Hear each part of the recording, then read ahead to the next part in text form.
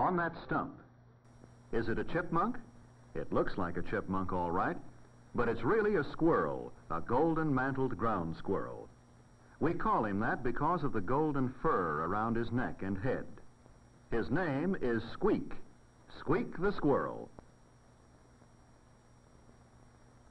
When a squirrel whistles, others stop and listen. What do you think the whistles mean? All day long, Squeak looks for seeds and nuts. He eats some food where he finds it, and some he carries away to his nest in the ground.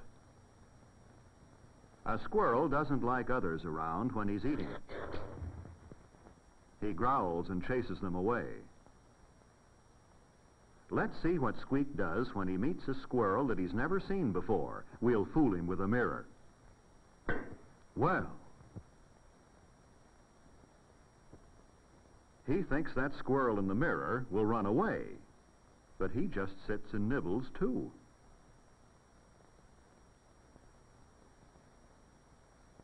Say, what kind of a squirrel is this anyway? Hmm, looks like a squirrel. But he doesn't smell right, does he, Squeak? And he certainly doesn't feel right.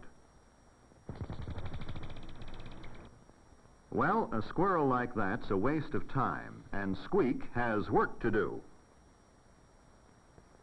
If you hold very still, a squirrel will come up and eat out of your hand.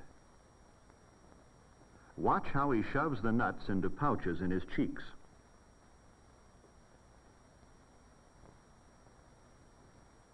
Look at his long whiskers. Do you think they would tickle your hand? Being good to a squirrel makes him more friendly. Now, Squeak isn't afraid at all. He goes right after that food. If you tie the nut to a string, he grabs it. The more you pull, the harder he pulls. See how he bites off the shell to get at the nut? He knows how to get what he wants. A squirrel is a smart little animal, don't you think so?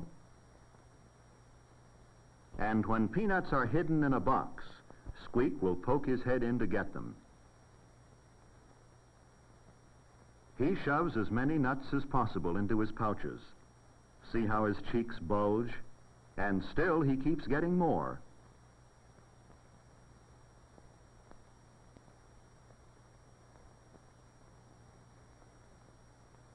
His cheeks are so fat, he can't get his head into the smaller box. Have you ever seen anyone work so hard to get what he wants? Now, let's try something new. We found out that a squirrel will work for food, that he can use his paws to reach and pull, and that he can learn simple things like finding peanuts in a box. But can he learn something he hasn't tried before? Let's see how smart a squirrel really is. Here's a glass tube. We'll put some peanuts in one end of the tube. Squeak has been watching us. Do you think he can get the nuts? He goes right to the tube and uses his tongue to reach them.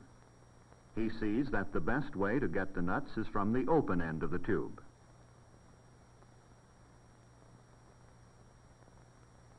But now his tongue isn't long enough to reach those that are left, so he sniffs and licks and scratches. He tries to push his face into the tube, but still he can't get the peanuts that he can see.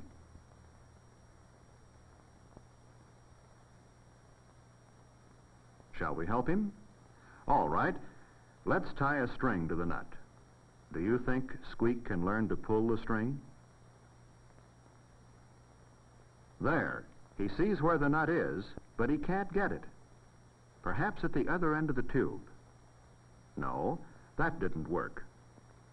He moves his nose back and forth under the nut. He even touches the string, but leaves without pulling it. Let's push the nut in a little farther and try again. He's beginning to get curious about that string.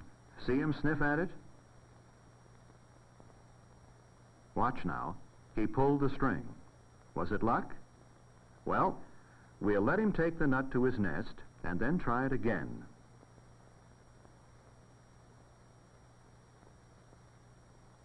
This time he faces the tube and pulls the string with his teeth and paws.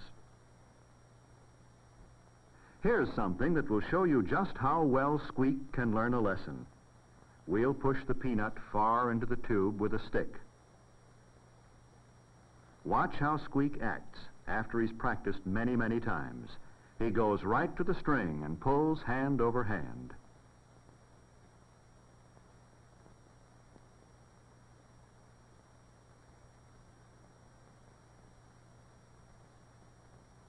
He certainly learned that lesson well, didn't he?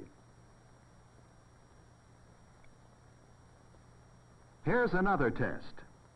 We'll put a peanut on one end of the string and a stick on the other. We'll hang the two ends through a wire screen. This time, Squeak has to do more than pull the string. He has to pull the right end. Will he find the end with the nut? Hmm, there must be something to eat around here someplace. Let's put another peanut on the string. Wrong again. He tries so hard that he makes the same mistake over and over.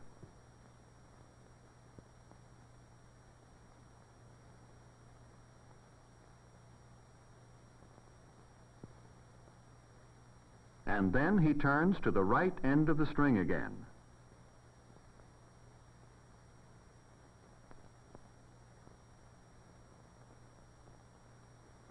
Let's change the peanut and the stick around.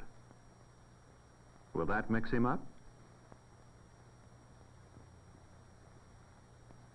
No. He's learned to pull the right end almost without looking. How do you think he does it? The more lessons he learns, the more he gets to eat. Isn't Squeak getting to be a fat little squirrel?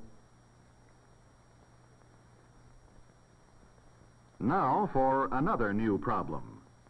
We'll tie the peanut on the string and hang it so it's out of reach. This time the string is out of reach too. What do you think he'll do now?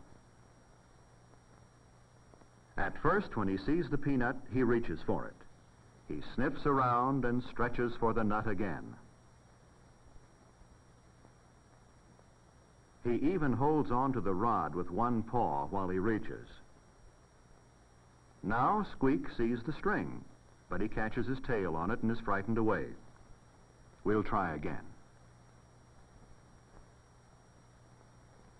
Now watch him use one paw and his nose to pull the string. He learned how to work the problem in just two tries. Here's a different test. We'll hang the peanut out of the squirrel's reach. A string is tied to a box that can be pulled. Can you figure out what Squeak should do to get the nut?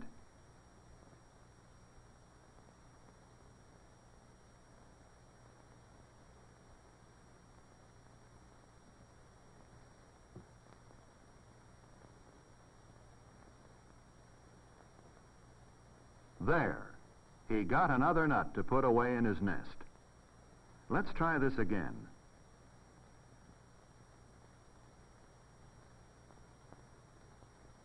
See how he runs back and forth and looks over the problem? He's learned that he can use a string to help him get something he wants. He didn't know how to use a string when he was living out in the woods, did he?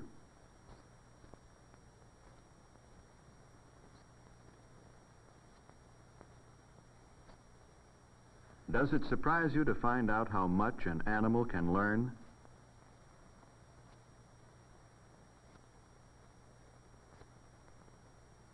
Uh-oh. That time he pulled the box so that it isn't quite under the nut.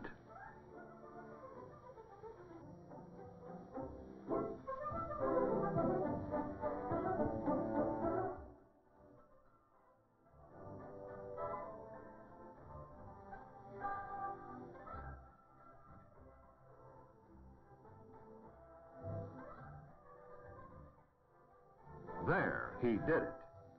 There'll never be a shortage of nuts for a hard-working, smart little squirrel like Squeak.